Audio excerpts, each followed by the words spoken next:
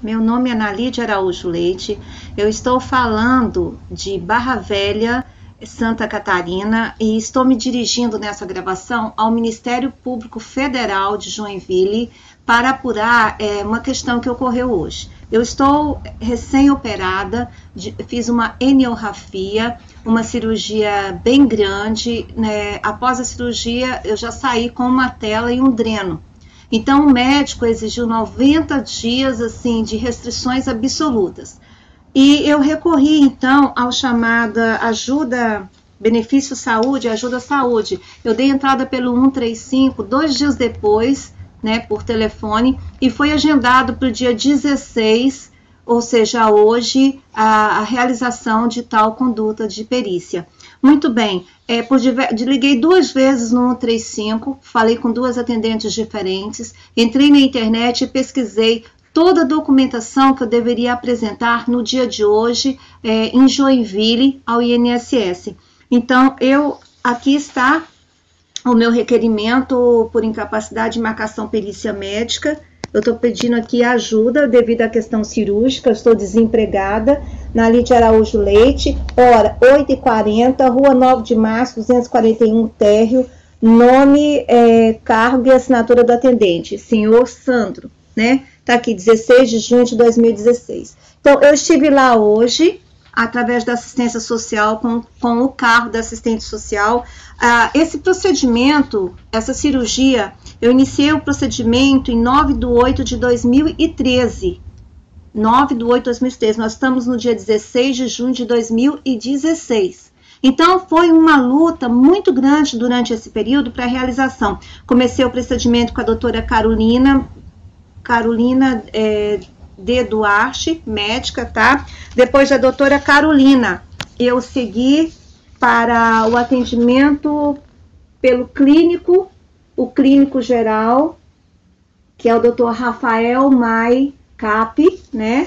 Então, aqui no dia 17, ó, aqui já foi, é, depois do atendimento do doutor Rafael, já autorização de internação, que só ocorreu no dia 17 de 2 de 2016 houve, para esse processo ocorrer, duas ou três vezes eles adiaram.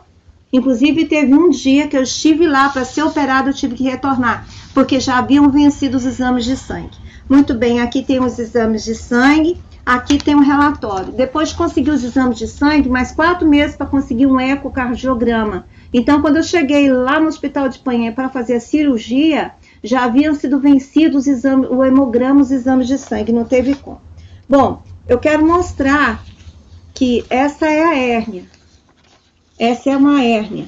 Essa é uma hérnia incisional. Aqui é o contorno dela. Isso aqui é, corresponde bar, à barriga, ao abdômen de uma gesta de 7 a 8 meses de gravidez.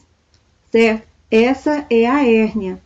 A hérnia que eu, que eu que eu tive, né? Porque hoje eu já estou operada. Essa foto foi tirada após a cirurgia no Hospital de Penha, dentro da enfermaria de número 7, tá?